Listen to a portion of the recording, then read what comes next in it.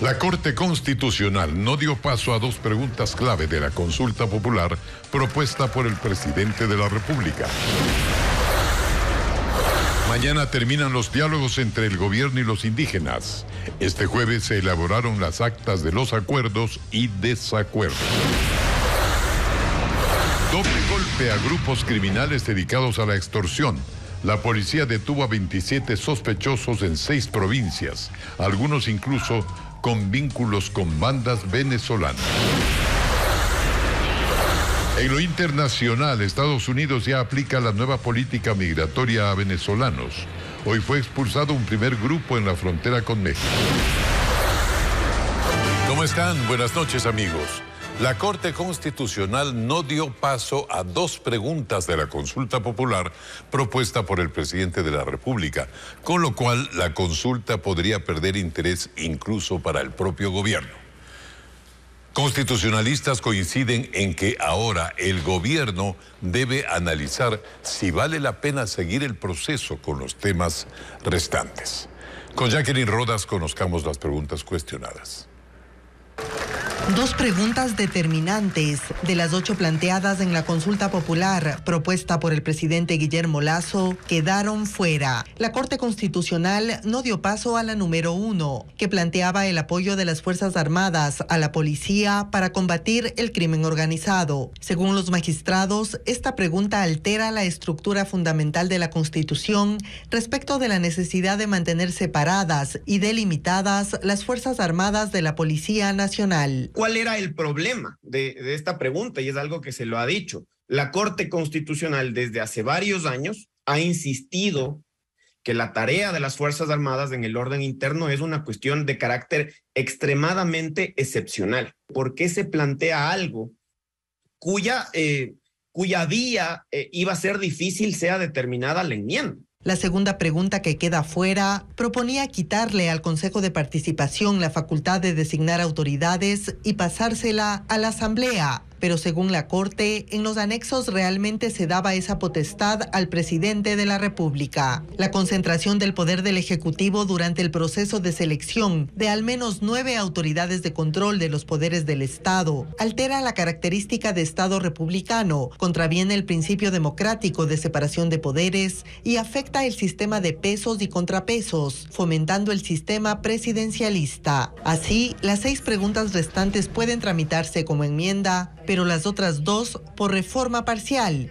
es decir, que primero deben pasar por la Asamblea Nacional. A mí me parece que este era el corazón de la enmienda y al decir que no pasa vía enmienda, pues eh, ahora el presidente tendrá que analizar si efectivamente decide o no eh, continuar con el proceso de enmienda constitucional, porque también la norma constitucional no le obliga a continuar. El gobierno a través de un comunicado informó que el equipo jurídico de la Presidencia de la República está revisando el dictamen y analizando las acciones a tomar. Se cerró el proceso de diálogo entre el gobierno y las organizaciones indígenas. No se llegó a acuerdo alguno sobre la focalización de los subsidios a los combustibles y en la última jornada los representantes de los movimientos se levantaron de la mesa de derechos laborales. Francisco Garcés tiene el informe. Concluyó el proceso de diálogo entre el gobierno y las organizaciones indígenas. Finalizaron así 90 días, tres meses del proceso de diálogo que se originó después de las movilizaciones del sector indígena y de las organizaciones sociales.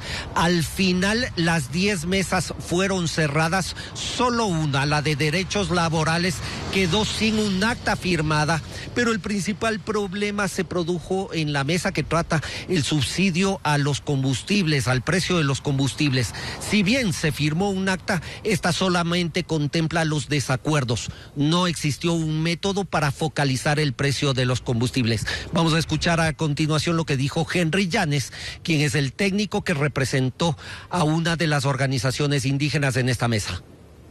Lamentablemente en Petroecuador eh, no se fija así los precios de los combustibles y y esto es lo que viene viviendo el Ecuador durante los últimos 30 años. Por eso es que una de las luchas nuestras es de que se reforme a la ley de hidrocarburos para entonces eh, definir los precios. Otra de las mesas que en este caso quedó sin un compromiso firmado es la de derechos laborales. En este caso no hubo un acuerdo sobre la mayoría de los puntos planteados, aunque sí se llevaron a acuerdos puntuales sobre lo que se informó 17 de los puntos en discusión. Sin embargo, los representantes de las organizaciones sociales en la última sesión se levantaron y dejaron a la mesa en el limbo. El ministro de Trabajo, Patricio Donoso, explicó lo que sucederá con esa mesa. La dirigencia de la CONAIE, particularmente de la CONAIE, escúcheseme bien lo que digo, de la CONAIE, no quiso firmar el acuerdo porque ellos pretenden colocar en el, en el acta final, que era hoy, que no hay acuerdo. Y yo les dije que no hay acuerdo. Yo les dije, perfecto, pongamos que no lo hay globalmente, pero sí hay 17 acuerdos o coincidencias o como le quieran llamar. Sin embargo, no quisieron firmar y espero que razonen y el día de mañana lo firmen.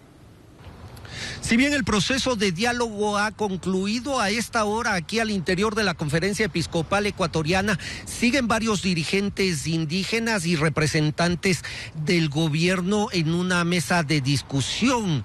Entre ellos está Leonidas Isa, quien ingresó al final de la tarde y hasta esta hora no se conoce qué es lo que se está discutiendo al interior de la Conferencia Episcopal. El proceso formalmente se cerrará mañana durante la tarde con la firma de un acta global con los acuerdos alcanzados. Vamos a ver a dónde va eso. Muchas gracias, Francisco. La Cámara de Minería del Ecuador y el Comité Empresarial Ecuatoriano esperan formar parte de la mesa que trabajará a finales de este mes en la propuesta de ley de consulta previa para proyectos mineros en el país. Los representantes del sector creen que el tratamiento de esta normativa debe ser técnico y no político. Juan Carlos Aispurúa nos informa.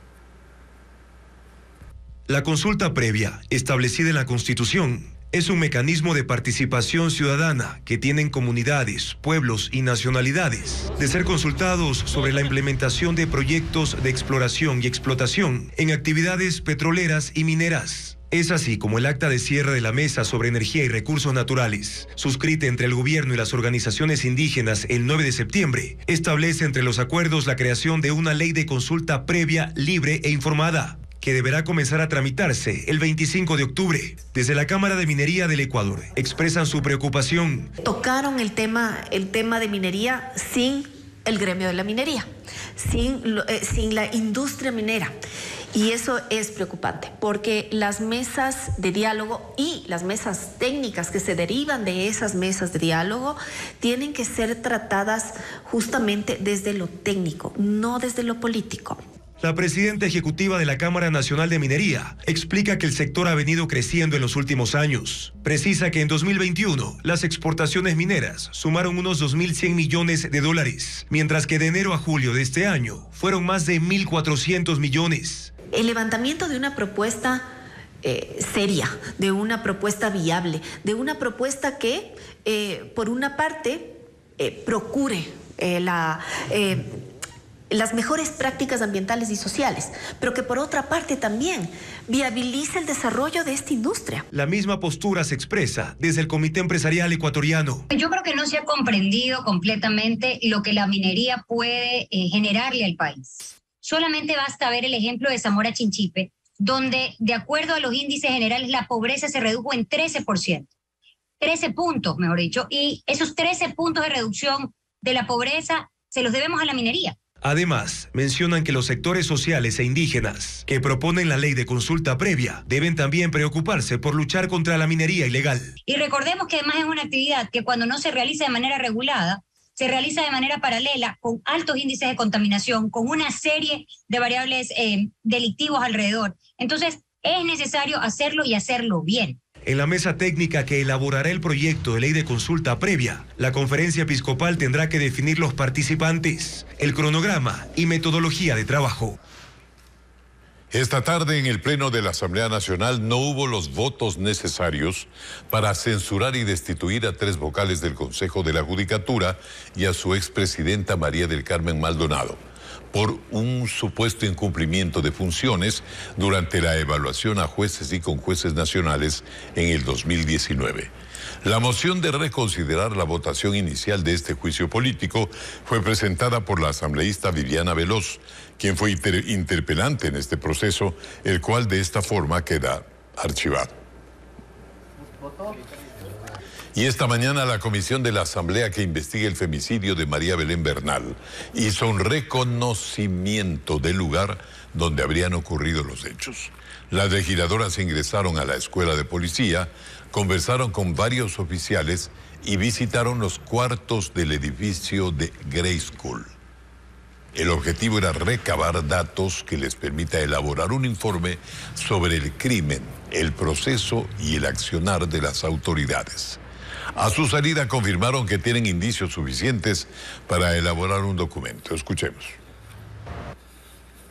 Hemos podido eh, tener acceso a las instalaciones y evidenciamos eh, que eh, obviamente si hubo pedidos de auxilio, era más que obvio que se podían escuchar, puesto que las divisiones son divisiones realmente muy pequeñas de las habitaciones del edificio que se ha denominado el Castillo de Grayskull. En los sectores o en los bloques, en este caso de los cadetes, existe registro, existe también personal de guardia y existen cámaras. Mientras que en los bloques de los oficiales, como el bloque 3, donde estaba el teniente Cáceres, no existe cámaras, tampoco existe registro y tampoco existe un personal eh, de guardia. Sobre este mismo caso, más adelante revelaremos otros nuevos videos de, de la actividad que cumplió el teniente Germán Cáceres en la Escuela Superior de Policía. En estado aparentemente etílico asumió la guardia hasta esperar a una cadete, hechos que se registraron antes de que llegue su esposa María Belén Bernal en la noche en que fue asesinada. Informa Paul Romero. Y 27 detenidos luego de varios allanamientos en seis provincias del país están acusados de pertenecer a dos organizaciones de extorsionadores. Melino Ochoa nos explica que gran parte de las amenazas las realizaban reos desde una cárcel en Venezuela. El primer operativo arrancó la madrugada del jueves. En total, 16 personas fueron capturadas en las provincias de Pichincha, Sucumbíos y El Oro. Las investigaciones apuntan a que esta organización de extorsionadores tendría vínculos con la mafia venezolana denominada Tren de Aragua. De hecho, decenas de estas llamadas se habrían realizado desde la cárcel ubicada en el estado de Aragua, en Venezuela, hacia Ecuador.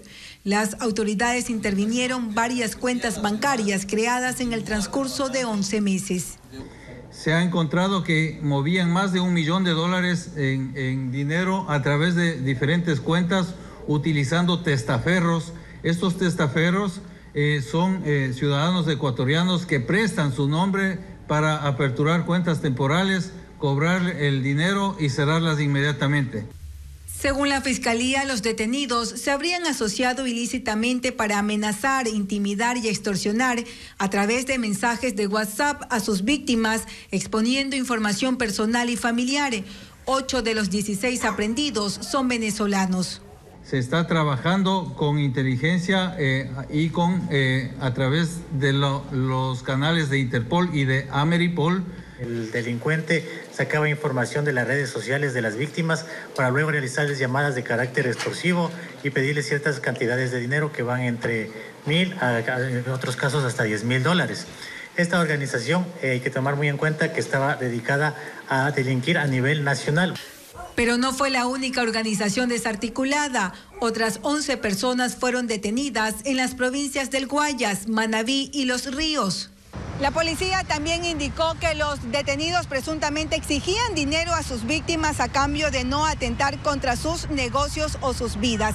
En este caso extorsionaban a los dueños y conductores de buses urbanos aquí en Guayaquil. Precisamente varias cooperativas eh, presentaron la denuncia por este tipo de extorsiones y esto logró la detención de estos ciudadanos. Seis meses duraron las investigaciones. En ambos casos, los uniformados decomisaron armas, municiones, documentos bancarios, tarjetas de débito y crédito. Nuevo plan de migración y nuevas medidas para el ingreso de venezolanos a Estados Unidos. Juan Carlos, ¿qué nos dices al respecto?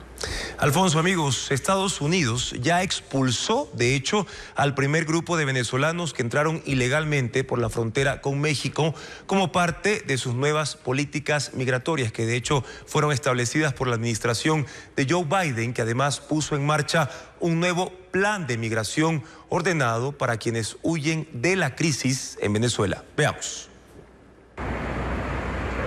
Desde la noche del miércoles entró en vigencia el nuevo plan migratorio de Estados Unidos dirigido a los venezolanos. La administración Biden ha decidido recibir a 24 mil ciudadanos de ese país de forma legal, siempre y cuando cumplan con los siguientes requisitos. Ingresar vía aérea y no por la frontera sur con México. Tener sus vacunas contra el COVID-19 completas y otras condiciones de salud pública. Además deberá contar con un patrocinador hacia México. Este migrante fue uno de los primeros en enfrentar la nueva política. Eso pues sentíamos de cierto modo una alegría porque ya estábamos adentro ya.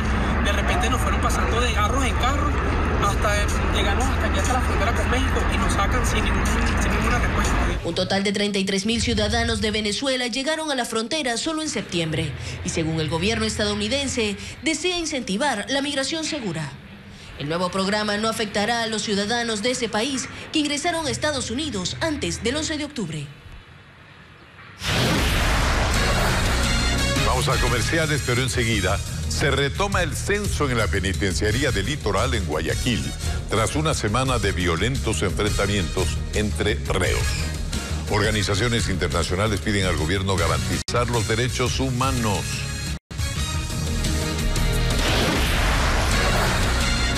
Y también les contaremos que ya no será condenado a muerte el joven de 19 años que se declaró culpable de la masacre en una secundaria de Parkland en Estados Unidos. La decisión del jurado causó conmoción en los familiares de las 17 víctimas.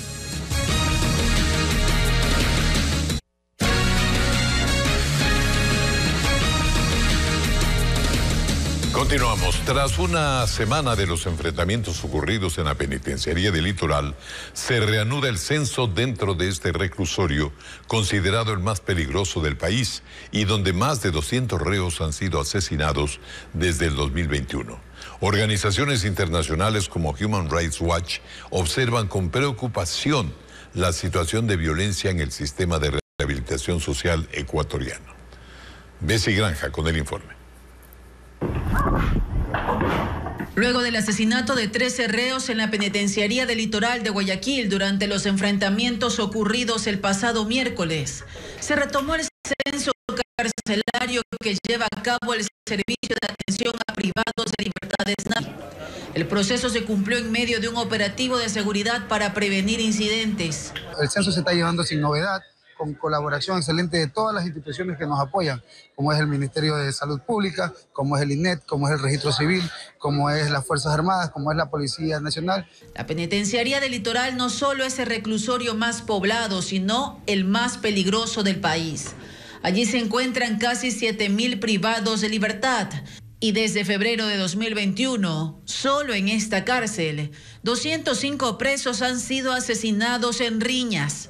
Lo que ocurre en este centro penitenciario alerta a la organización Human Rights Watch, que monitorea las recomendaciones entregadas al Estado ecuatoriano para mejorar la seguridad en el sistema de rehabilitación social. Creo que el gobierno ha tomado algunas iniciativas valiosas, como iniciar un censo, como aprobar algunos decretos para reducir eh, la sobrepoblación, pero hay que hacer mucho más. Hoy lo cierto es que hay varias prisiones del país donde las autoridades estatales no controlan la situación, donde la situación queda en manos de bandas criminales y que cometen estas masacres como las que han ocurrido en la última semana, tanto en Guayaquil como en Cotopaxi. Una misión de las Naciones Unidas también alertó sobre la ola de violencia en las cárceles y exhortó al gobierno a tomar medidas inmediatas para garantizar los derechos humanos de los presos y recuperar la seguridad de las prisiones.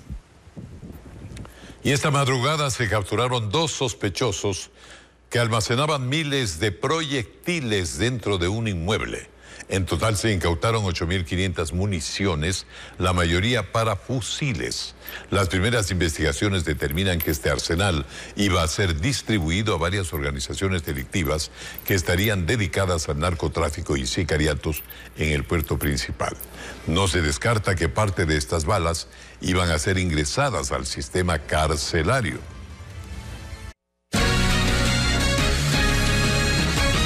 Y ahora les contamos que las federaciones médicas solicitarán al presidente Guillermo Lazo desistir de la idea de anunciar un supuesto fin de la pandemia. Lo consideran así porque el COVID-19 ya vuelve a complicar a varios países en Europa con la presencia de variantes que incluso ya se encontrarían también en Ecuador. Carla Delgado conversó con autoridades del gobierno sobre el tema.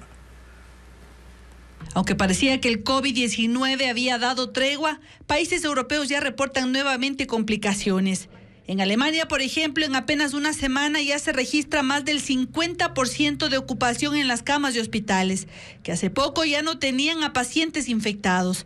Este nuevo comportamiento del virus convocó a las federaciones médicas de Ecuador, más aún ante la idea del presidente Guillermo Lazo de anunciar un supuesto fin de la pandemia. Variantes que han eh, hecho brotes en Inglaterra, eh, Francia, Italia, Alemania, nos hace pensar específicamente de la BA 4.6, que ya también está circulando en el país, y la BA 2.75, que aún no llega a Ecuador, eh, yo pienso que debíamos haber sido un poco más cautelosos. Por ello indicaron que ya remitieron un pedido formal al mandatario y a las autoridades sanitarias que el Ecuador no, no está en condiciones todavía eh, de poder eh, dar por concluida una pandemia cuando existen todavía índices de morbilidad. A esto se sumaría la preocupación por la presencia de la época invernal en varias regiones del país, lo que podría provocar un rebrote, manifiestan. La reproducción viral es mayor en el frío. Entonces, todos los países, de hecho, se han estado preparando para el otoño, para el invierno, en los que tienen cuatro estaciones, porque saben que durante el tiempo de frío hay rebrote de enfermedades. Esto mientras el presidente del COE Nacional y ahora ministro del Interior, Juan Zapata, señaló que el próximo lunes se harán anuncios con respecto a la pandemia en el país. Ya tenemos que mirar hacia adelante con optimismo y entender de que debemos ya volver a la normalidad. No podemos estar toda la vida con estas, eh, digamos, restricciones que nos paralizan inclusive actividades muy importantes como el turismo, como la economía. En apenas 24 horas, 161 personas han contraído la enfermedad en Ecuador. Desde que empezó la pandemia, más de 1.6.900 personas se contagiaron de coronavirus en el país. Otros temas para ustedes. Prestadores de salud privados del país reclaman cerca de 800 millones de dólares de la deuda que mantiene el gobierno y el Instituto Ecuatoriano de Seguridad Social, producto de derivaciones de pacientes. En la Asamblea Nacional manifestaron su temor a que su sistema colapse por esa inestabilidad económica, como nos muestra Byron Andino. Llegaron al legislativo miembros de la red de medicina preventiva los centros de diálisis y más entidades prestadoras de servicios de salud de la red privada indican que han sido un servicio complementario para las atenciones médicas que no alcanzan a cubrir las casas de salud públicas ni del IES, pero solicitan que alguien les ayude, pues los pagos no llegan. Derivan mucho más al sector privado, pero no va de la mano con el pago oportuno. Estimamos que dos, tres meses de gestión para pagos es suficiente, pero llevamos 10, 12 y 13 meses impagos los centros de diálisis de todo el país. Afirman que son casi 800 millones de dólares que el gobierno y el IES les adeuda a los prestadores privados por derivaciones en servicios varios, como chequeos, exámenes, medicina y hospitalización hacer una deuda millonaria, empiezan sus temores por falta de recursos. Plazas de trabajo que se están poniendo en riesgo por la negligencia y la falta de pagos ante los convenios ya previamente firmados. Incluso impulsan propuestas alternativas para que la atención de salud no solo sea sobre consecuencias, sino más bien se centre en prevención para que el Estado y el IES se ahorren recursos. La medicina preventiva es más barata, más valiosa y genera una vida más larga, sana más saludable para la población del país. El presidente de la Asamblea manifestó que como parte de su labor de fiscalización, empujarán para que el gobierno incluya en la proforma presupuestaria 2023 algunos recursos para aliviar esa deuda. De que considere, que consideren en ya esa proforma eh, el colocar un rubro que valga la pena, que adeuda el Estado ecuatoriano, la seguridad social a los prestadores externos. Los prestadores de salud privados aclaran que seguirán atendiendo a pacientes derivados, solo esperan no llegar a un colapso por falta de dinero a causa de esas deudas. Durante el desfile por la independencia de Guayaquil del domingo pasado, dos alumnos captaron la atención de muchos. Un joven de San se robó las miradas por sus pasos de baile en el desfile, mientras que una estudiante del suburbio destacó por recorrer los dos kilómetros de desfile con su prótesis. Fernando Terranova nos cuenta las historias. Algunos de sus compañeros se desmayaron, pero ella no. Desafiando limitaciones, Rubí Andrade, de 15 años, se robó los aplausos y la admiración del público al recorrer con su prótesis las calles de Guayaquil bajo un sol inclemente, en el desfile cívico estudiantil por la independencia de la ciudad.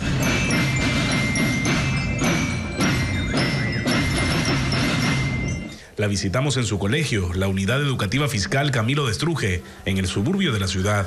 ¿Cómo fue la experiencia? ¿Cansado quizá? No, yo no me canso. Mi profesor, mis dos instructores me decían, ¿estás cansada, Rubí? ¿Quieres agua? No, profesor, yo si estoy en un desfile yo no tomo agua. Simplemente sigo de largo y ya cuando veo el final, ahora sí tomo agua, descanso y todo. ¿Lo hiciste de una entonces? Sí, de una, yo no me canso.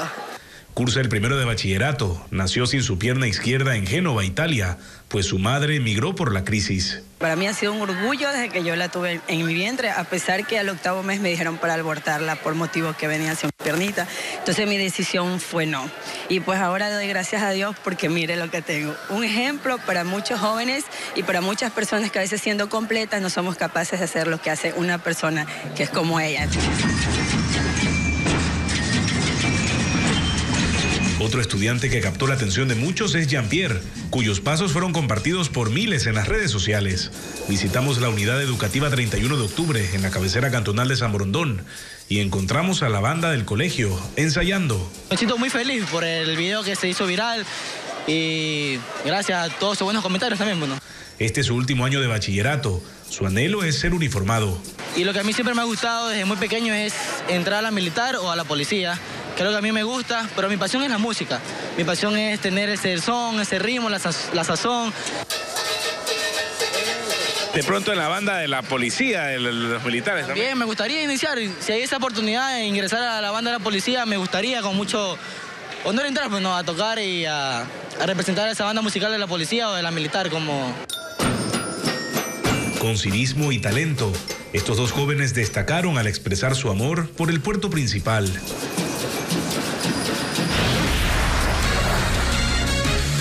Al volver amigos les mostraremos videos del teniente Germán Cáceres el día del femicidio de María Belén Bernal en la Escuela Superior de Policía. Estén pendientes. El teniente Germán Cáceres, principal sospechoso del femicidio de María Belén Bernal, llegó atrasado y en aparente estado etílico a la escuela de policía el 11 de septiembre, día del asesinato. En varios videos a los que accedió Ecuavisa, se observa a Cáceres en la garita de la prevención de la escuela antes que ingrese la cadeta Jocelyn Sánchez, la única detenida por este caso. Nos cuenta Paul Romero. En los videos que se investigan por el caso del femicidio de María Belén Bernal, aparecen los movimientos del teniente Germán Cáceres desde que ingresó a la Escuela Superior de Policía en Quito el 11 de septiembre, día del asesinato. Los policías de la Guardia se retiran tras cumplir su horario. Cáceres, a las 0 horas con 23 minutos, ya uniformado, ingresó a la garita. Está solo y salió de la prevención con su celular. Se arrimó a una pared y utilizó todo el tiempo el teléfono móvil. En varias ocasiones tambaleó. Según versiones de los testigos, llegó en estado etílico a cumplir con la guardia. Pese a su condición, es evidente que está pendiente de algo. A las 0 horas con 30 minutos llegó la cadete Jocelyn Sánchez en un vehículo que se parqueó en la puerta principal de la escuela bajo la atenta mirada del teniente. A las 0 horas con 40 minutos desapareció de la garita, pero el vehículo en el que llegó la cadete siguió en la puerta sin que nadie se acerque durante 20 minutos. A las 0 horas con 50 apareció un policía y le permitió el ingreso a Jocelyn Sánchez. Hasta ahora, la única detenida por este caso. En su versión en la fiscalía señaló, a lo que llegué, mi teniente Cáceres se encontraba hablando por teléfono. Entonces yo estaba fuera de unos 10 a 15 minutos. Entonces él colgó la llamada y yo me bajé del vehículo de mi compañero e ingresé. Mi teniente Cáceres me acompañó hasta el castillo de Grayskull. Según el ministro del Interior Juan Zapata, pronto se conocerá los resultados de la investigación de los 12 sumarios administrativos abiertos a los implicados. Todo eso se va a evidenciar en el informe y el país sabrá en aproximadamente 14 días, que entiendo ya terminan los, los 48 días de este proceso tan largo, pues habrá las decisiones que nosotros vayamos a tomar. También se investiga quién es el que ingresó a la escuela en este vehículo a las 0 horas con 20 minutos, a quien los policías de guardia le rinden honores y se cuadran poco después del ingreso de Cáceres, principal sospechoso del femicidio.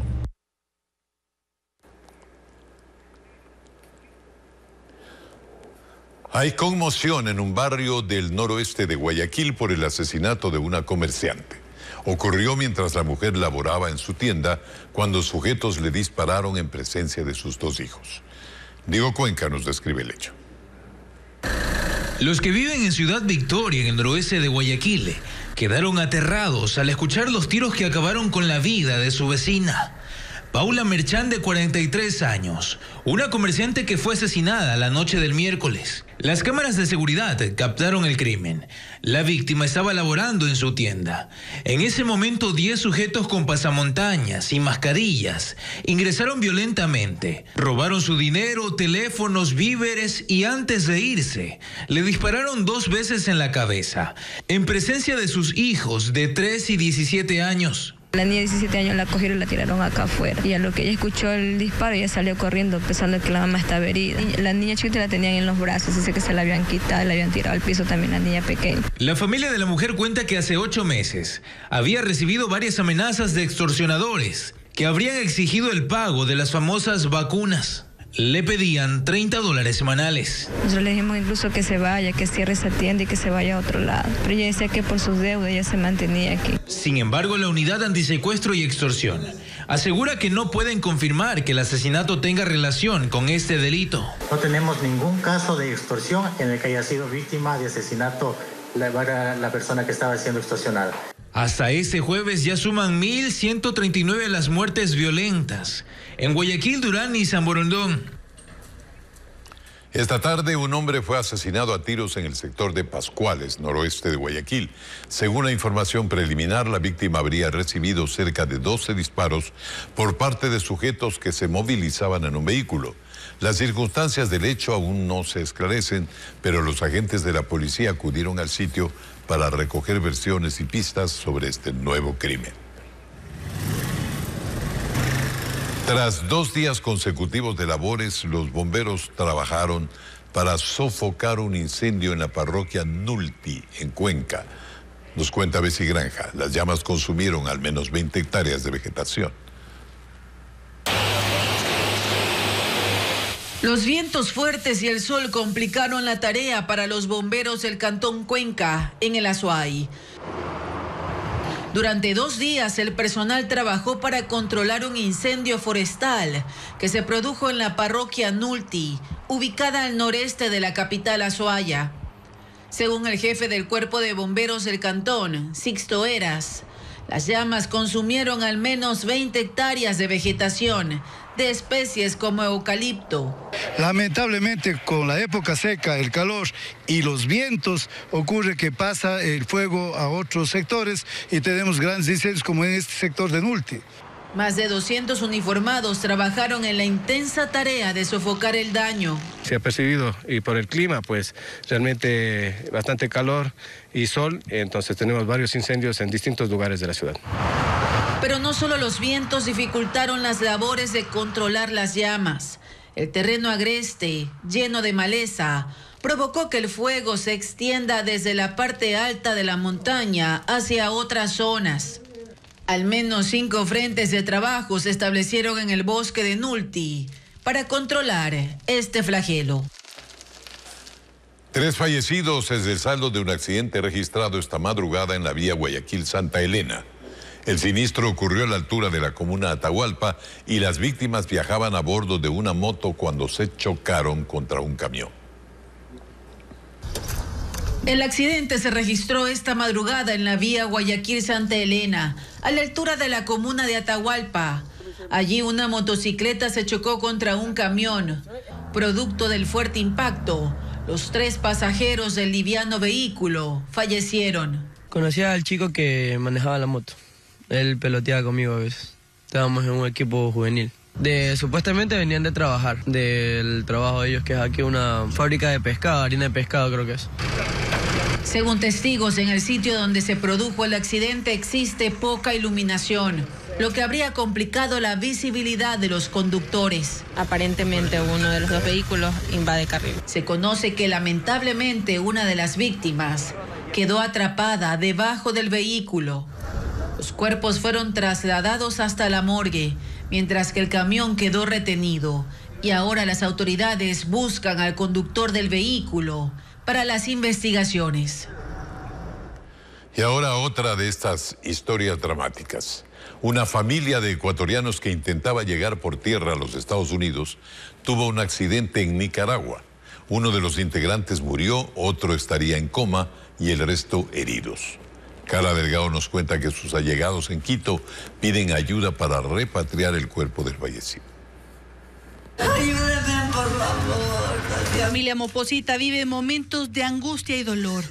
Seis de sus integrantes decidieron migrar de forma ilegal hacia Estados Unidos. Los motivos dicen sobraban, pues en su casa siempre hubo escasez. Aquí no tenía, no tenía trabajo, si se pedía un trabajo, nos, no, nos niegan. Si nos vamos a vender, nos ganamos, ¿qué será? Unos 5 dolaritos, 8 dolaritos para la comida. Puede pasar. Apenas el miércoles se enteraron que Jefferson de 24 años murió cuando el vehículo en el que viajaba junto a su esposa, su niña de apenas 5 años y tres familiares más, entre ellos otro menor, se volcó al llegar a Nicaragua. Y es que el viaje que decidieron emprender fue maratónico. Salieron por tierra desde Quito, pasaron por Colombia, cruzaron la selva de Panamá hasta Costa Rica, llegando finalmente a Nicaragua. Todo el viaje les tomó tres semanas. Lamentablemente el señor, ¿qué le pasaría? ¿Se dormiría? O yo no sé, pero se, se volca y se queda ahí. Y mi hermano fallece de un solo golpe que en el cráneo. Para poder pagar su travesía a Coyoteros cuentan que la familia tuvo que desprenderse de todas sus cosas. Hoy claman por ayuda, pues uno de los viajeros estaría en coma y los demás permanecen heridos. Yo les ruego de todo corazón que me ayuden para traerle a mi hijo y al resto de mis familiares, ya que la una está con mi nietita y la otra está en otro lugar, totalmente abandonadas. Desde la Cancillería aseguran que la migración riesgosa de ecuatorianos no se ha detectado solo en Nicaragua. No, también en Panamá, en México hay un sistema de acompañamiento eh, en, este tipo de casos. Eh, lamentablemente, eh, cuando se trata de migración riesgosa y llegan a través de coyoteros, lo trágico es que los abandonan, los dejan solos. En el segundo trimestre de 2022, más de 3.000 ecuatorianos han sido detenidos mensualmente en Estados Unidos porque pretendían llegar a ese país de forma ilegal.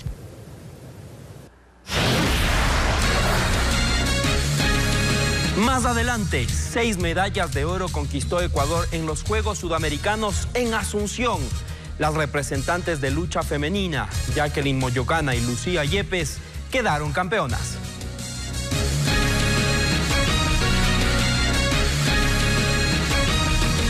Más noticias, el presidente Guillermo Lazo cumplió agenda en la provincia de Napo y entregó 70 millones de dólares para obras a gobiernos seccionales de la región amazónica. Elizabeth Quesada nos tiene detalles. El presidente Guillermo Lazo, durante su segunda visita a Napo, fue testigo de la suscripción de convenios con gobiernos seccionales para la ejecución de 17 proyectos por un monto de 20.6 millones de dólares. Estos casi 21 millones provienen del Fondo Común del Consejo de Planificación y Desarrollo de la Amazonía. Son recursos para 17 proyectos de agua potable y alcantarillado. Saneamiento, comercio, vialidad, infraestructura, turismo y fomento agropecuario. Estos recursos son provenientes del fondo común que genera la ley amazónica a través de las utilidades que produce la minería, energía hidroeléctrica y la actividad petrolera, informó Lazo. Son obras que nos van a llevar al país del empleo, al país de las oportunidades, al país del bienestar que estamos construyendo juntos los 18 millones de ecuatorianos. Hoy hemos juntado esfuerzos entre el gobierno, la Secretaría Amazónica y el Banco de Desarrollo del Ecuador. Previamente a este acto, constató el avance de la construcción del proyecto del sistema de agua potable para Puerto Misaguayí. El proyecto tiene un avance del 75% y una inversión de 10 millones de dólares. Agua potable significa más salud, menos enfermedades, más protección para los niños es el primer paso para combatir la terrible desnutrición crónica infantil. No queremos más niños que consuman agua contaminada.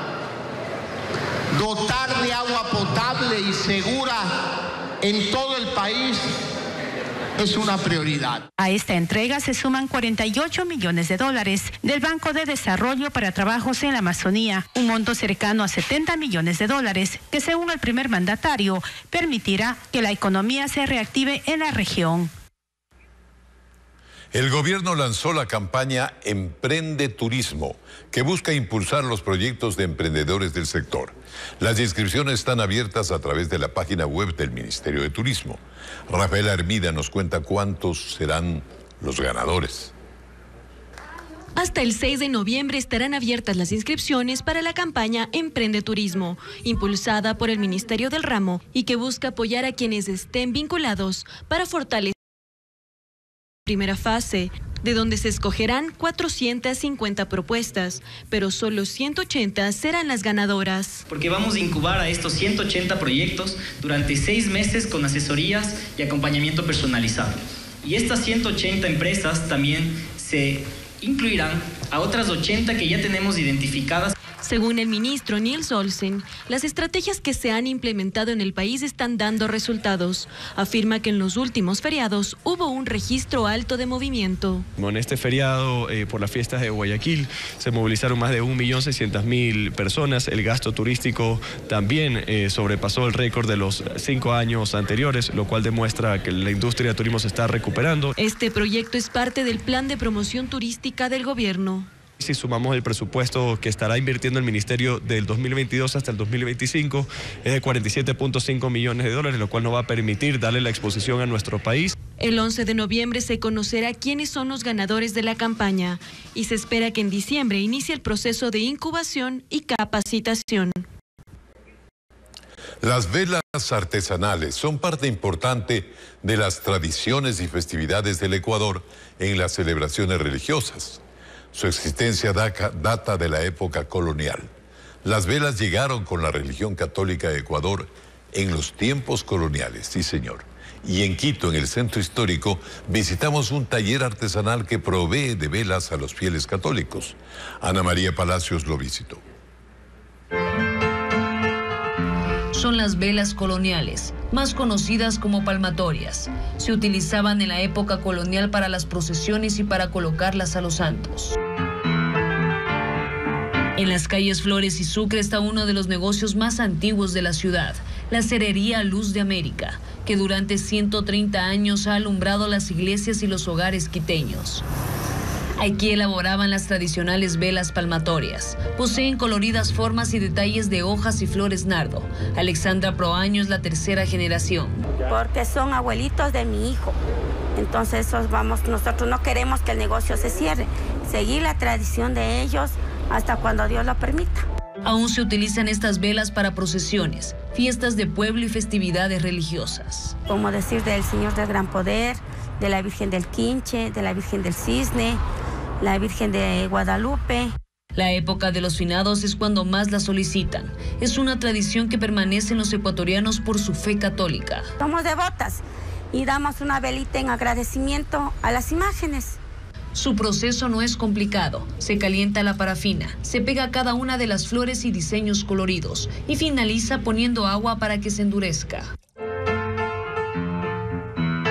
Ella aún lleva en sus manos la herencia, su dedicación y amor por este oficio que ha hecho que la cerería Luz de América sea parte del patrimonio cultural quiteño. La actriz cuencana Montserrat Astudillo regresa con una exitosa obra a Quito. Nos tiene ahora una comedia en la que se personifica a generaciones contrapuestas, viejas y millennials para grabar un buen, un buen, una buena lista de reproducción en un cassette, tenías que prepararte psicológicamente y llamar a todas las emisoras del país. Vieja yo o millennials ustedes, una obra que nació en el confinamiento por la pandemia. El encierro hizo que la actriz Montserrat Astudillo realice un análisis de cómo son las visiones desde el punto de vista de varias generaciones y cómo se van transmitiendo las taras, digo yo, ¿no? De alguna forma, de generación en generación. Ah, los papás siempre decían, ay, hijita, en mi época no eran así, las chicas se hacían de rogar. Y ahora ya no. Échala, joven. Un show de comedia en la que demostrará que ninguna generación es mejor que otra y en la que estará acompañada de un DJ, un ilustrador y la banda Flix. Y me encanta la posibilidad que sea con humor, con risa, con canto, con baile, con música, con eh, imágenes, este, el, escenario realmente es muy lindo, la escenografía es preciosa. Dice, estoy trabajando, mamá, soy youtuber. La artista cuencana ofrecerá varias funciones a partir de este viernes 14 de octubre en Quito, en el Teatro San Gabriel. Será soltero. Yo ya me imaginaba Monserrat Astudillo de Spotify. En serio les digo, no sé, la gente a decir, no,